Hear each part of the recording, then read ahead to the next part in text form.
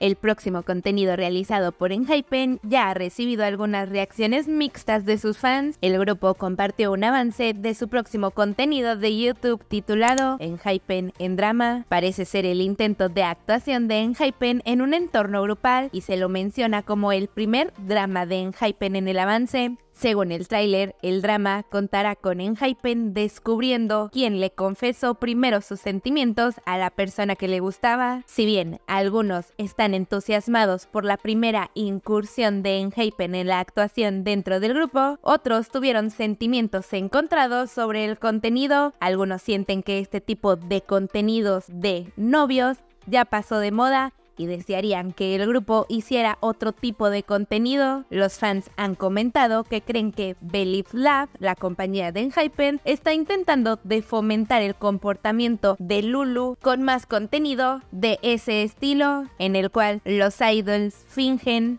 o crean un enamoramiento, por lo que los fans señalaron que este tipo de contenidos en el que supuestamente el idol está enamorado y expresa su amor por la persona que le gusta, solamente alimenta el delirio de ciertos fans. Por otro lado, muchos fans también han señalado que esto podría considerarse una consecuencia o en secuencia al más reciente álbum del grupo y el cual contiene temas románticos similares